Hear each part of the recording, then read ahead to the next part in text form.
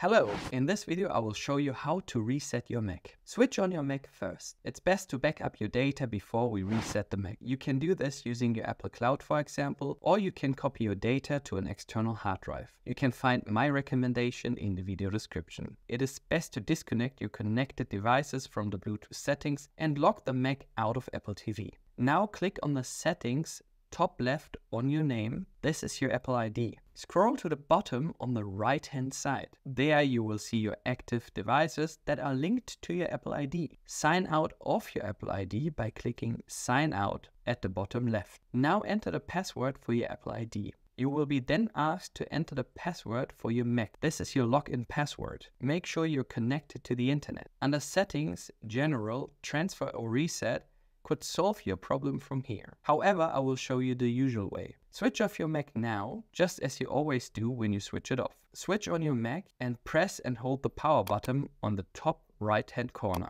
Now tap on options and then select disk utility. Tap continue and select your hard drive in the top left hand corner. Now tap on delete on the top right hand corner. Note there's no going back from here. Enter a name for your partition and then press delete. Your Mac will now restart. Connect to a Wi-Fi network and select the language of your Mac. If you cannot see the field, click on Recovery Assistant at the top left and then on Change Language. Then select your operating system and reinstall it. The faster your internet connection is, the quicker it will be. Now you just have to wait and then sign in again with your Apple ID or resell your Mac. Don't forget to subscribe and give me a thumbs up. Until the next tutorial,